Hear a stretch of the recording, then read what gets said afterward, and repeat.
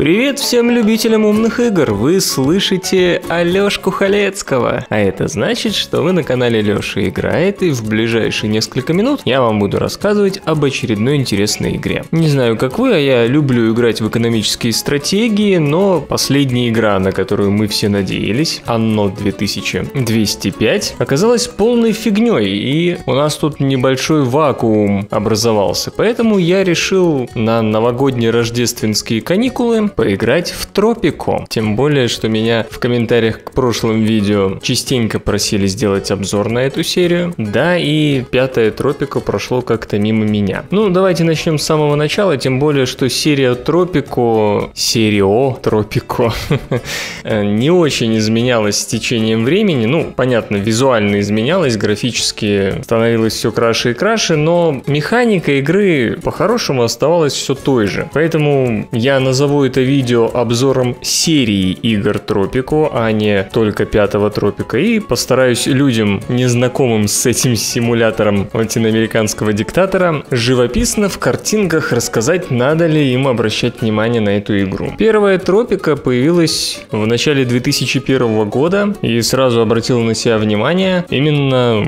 из-за уникальной атмосферы. Вы латиноамериканский диктатор, который должен вести свой остров процветанию. Ну, процветание, естественно, в кавычках. На самом деле, самое главное в игре это остаться у власти. При этом совершенно не обязательно, чтобы ваше население жило хорошо. Главное, чтобы оно вас поддерживало. Ну, собственно, прям один в один, как в любой авторитарной стране. В первом Тропика, правда, вы не создавали собственного персонажа, а вам на выбор там давали популярных латиноамериканских диктаторов, Фиделя Кастро, Че Гевару, Августа Пиночета, Антонио Салазара, кстати, Салазар это ж португалец. В общем, старт был неплох, и мы получили еще одну замечательную стратегическую серию. Правда, серия чуть не закончилась на второй части, потому что авторы почему-то вместо того, чтобы развивать и углублять тему диктаторов, э, ломанулись к пиратам. Второй тропика так и называлась э, Тропико 2 Pirate Cove, то бишь пиратский остров. Зачем это было делать, не очень понятно. Возможно, разработчики не хотели топтаться на одном месте, но смысл в том, что второй Тропика был уже не столь удачным, и третья часть вышла только лет через пять. Ну да, по-моему, второй Тропика в 2004 было, а третья часть в 2009. И сменился разработчик,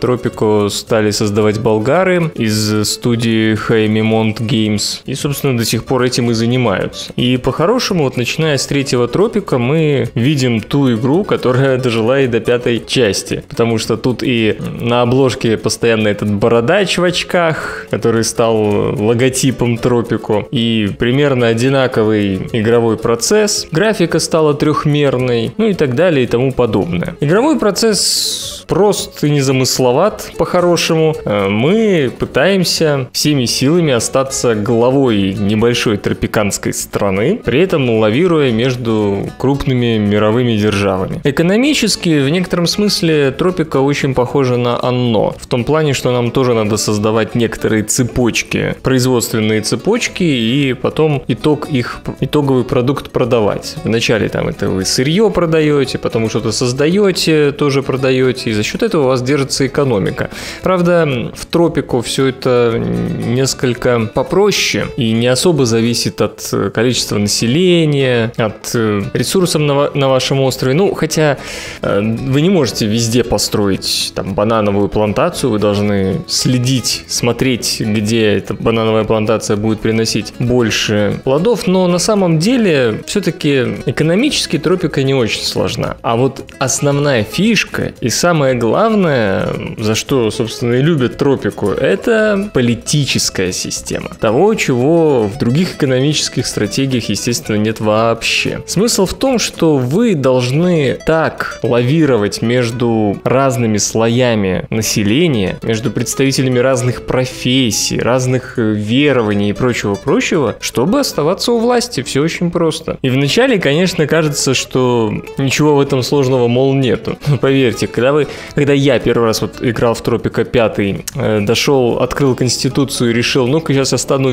крутым демократом, попринимал все законы, ну, которые соответствуют лично моей э, политической позиции, я получил 18% поддержки и с треском проиграл следующие выборы. И вот тут тот случай, когда игра нам рассказывает о том, что есть и в жизни. То есть в жизни, если вы внезапно станете президентом какой-то страны, то вы поймете, что нравится всем невозможно. И даже если вы будете принимать офигенно правильные, по вашему мнению, законы, то, скорее всего, неподготовленное население вас сметет в пылу какой-нибудь очередной революции. И вот тут мы начинаем уже разбираться в тропика подробнее. Мы начинаем открывать графики и смотреть, сколько у нас верующих, какие законы они поддерживают, сколько у нас милитаристов, какие они законы поддерживают, какие законы им не нравятся. Оказывается, если построить лесопилки, то вы получите прибыль от продажи дерева, но при этом снизится ваша поддержка у экологов. Странно, правда? Уже стало доброй традицией, что мои видео выходят при поддержке 2GIS. Адреса, расстояние, время работы и другая детальная информация о городе в одном приложении. 2GIS, если быть точным. Заходите на сайт 2GIS.ru и совершенно бесплатно скачивайте приложение для вашей платформы или операционной системы. Когда вы в колониальный период, когда еще нету выборов, когда вы являетесь губернатором, назначенным королем, строите много церквей, то вы не подозреваете, что в итоге у вас на острове окажется очень много верующих людей, и они будут поддерживать совершенно не те законы, которые лично вам нравятся. И это правильно. Игра вот в таких, казалось бы, простых и ясных формах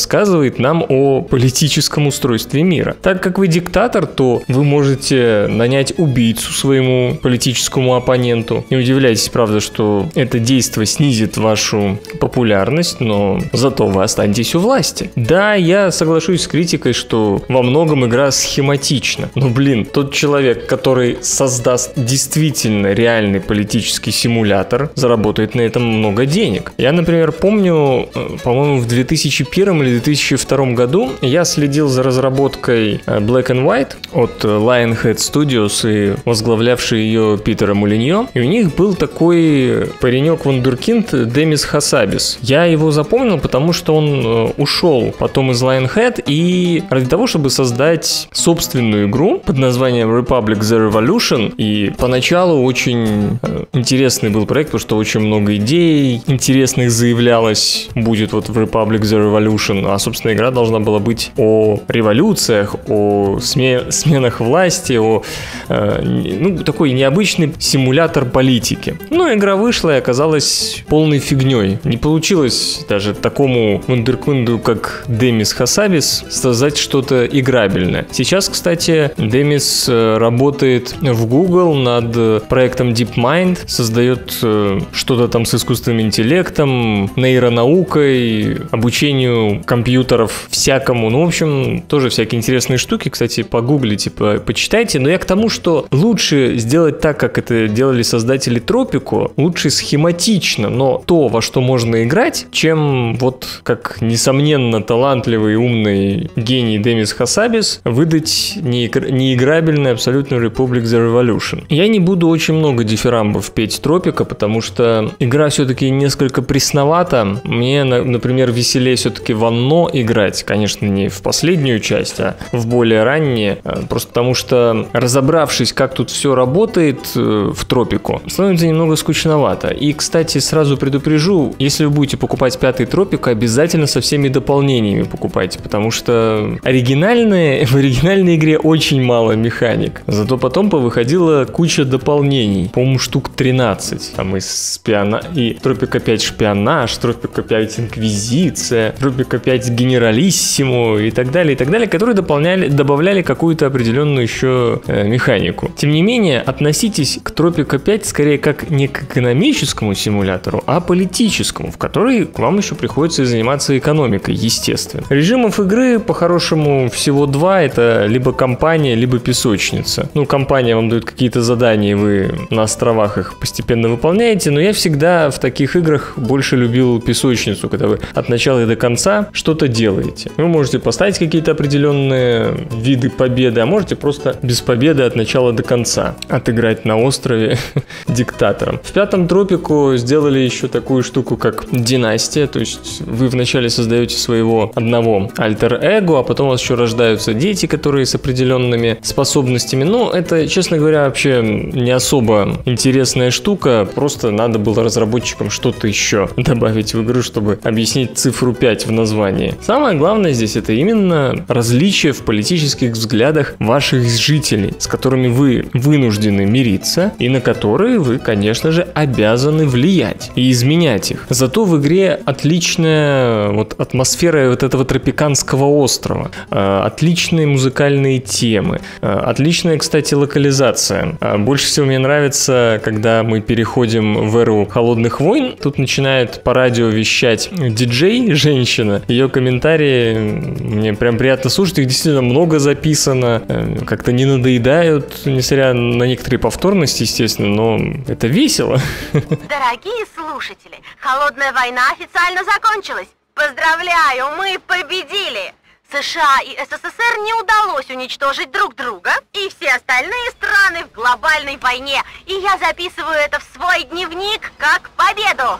И вот когда я запускаю Тропика 5, я действительно себя ощущаю на тропическом острове. Ярком, веселом, бедноватом, правда, но тем не менее э, на своем тропическом острове. Есть некоторые претензии к интерфейсу, причем, как ни странно, Тропика 5 разрабатывалась, похоже, под приставки, и сразу как я ее запустил, она у меня определила, что у меня подключен геймпад, и мне пришлось играть с геймпада, потому что при включенном геймпаде почему-то я не могу переключиться обратно на клавиатуру и мышку, хотя клавиатура и мышка работают, но все подсказки и так далее написаны для геймпада. Отключать геймпад только ради того, чтобы играть в Tropico 5 мне не хотелось. Но с другой стороны, как ни странно, играть в эту экономическую стратегию с геймпада очень даже удобно. Так что имейте в виду, если вы э, пользуетесь приставками, то Tropico 5 та стратегия, в которую удобно играть с помощью геймпада. Я не хочу э, подробно вдаваться в политическую систему игры, потому что она проста, но в ней интересно разбираться.